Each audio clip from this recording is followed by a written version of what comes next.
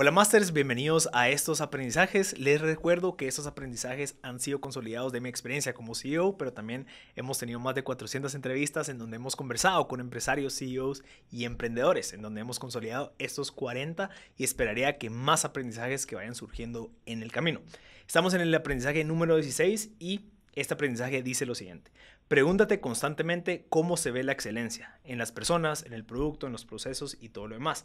Tu amenaza más grande, especialmente cuando eres un emprendedor primerizo, es no saber esto y no saber identificarlo.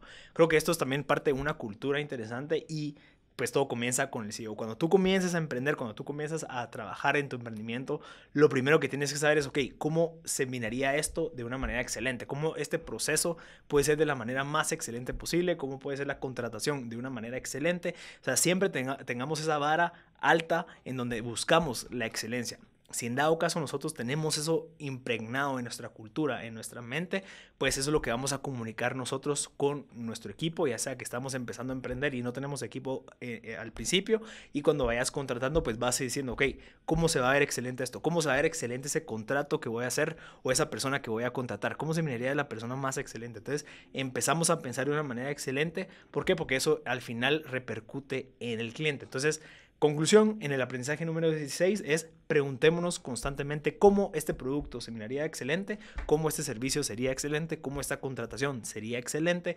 etcétera, etcétera, cómo esta campaña de marketing sería excelente para que siempre tengamos como esa, esa, esa vara alta y eh, que al final puede ser que tal vez no lleguemos a tener esa excelencia, sin embargo vamos a hacer algo eh, eh, de una manera muy bien. Así que si quieres saber más de estos aprendizajes, te invito a que visites me.gt en donde puedes leer y profundizar de estos aprendizajes y de las más de 400 entrevistas que ya tenemos listas en el sitio. Yo soy Marcelo Lascut y te invito a que visites me.gt.